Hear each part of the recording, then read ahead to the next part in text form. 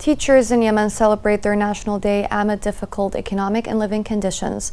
After a decade-long civil war, salary suspensions have prompted desperate teachers to seek alternative forms of income. This report has more details.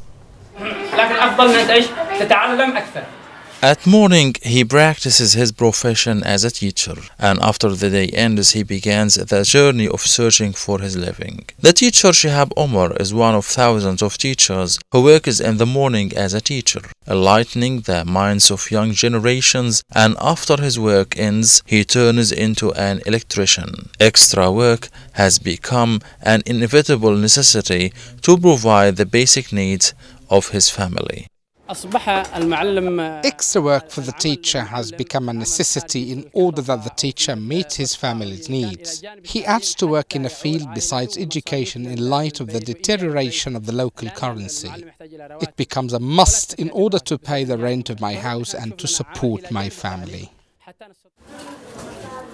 Shahab's story is not exceptional, but rather a small example of the suffering of a wide segment of workers in Yemen who have become victims of Houthis war that ravaged the country, cut their salaries, and made them face the bitterness of living, in addition to the wages that are no longer available in its simplest form.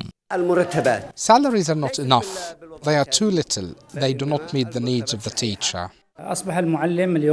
The salaries do not meet the needs of the teachers. Salaries are now very little in comparison with the situation before. In the past, the teacher could adapt his life according to the salary he receives. But now, because salaries are quite low, teachers are opted to seek other jobs.